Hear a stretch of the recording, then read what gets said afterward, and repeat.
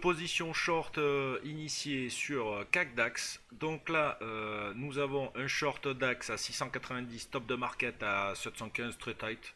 Et sur le CAC, pareil, nous sommes shorter depuis 911, stop de market très tight à 921.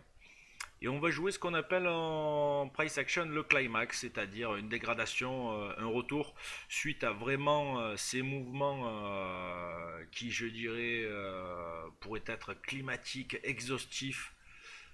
donc ce MZ là, tout comme sur le CAC, cette spike là, peuvent être donc les derniers de toute la trend et pourquoi pas repropulser les cours sur des niveaux bien inférieurs.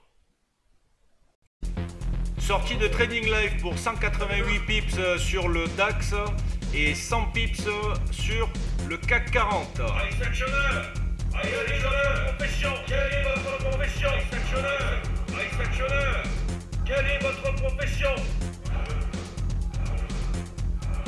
Voilà, nous étions shorter swing, euh, nous étions shorter swing sur le, le, le DAX euh, depuis euh, les 690, euh, on a tenu bon gros swing jusqu'à notre TP de Measuring Gap Price Action sur les 11500. sur le CAC 40, ça a été un peu plus, un peu moins fructueux, mais on a tenu quand même jusqu'au previous bottom ici. shorté à 908 à deux reprises tout était mis à la break-even, on est resté overnight et puis voilà, sortie de position sur ces niveaux qui nous semblent quand même pas mal, euh, surtout qu'on est au premier touch, moins immobile, daily, tout support.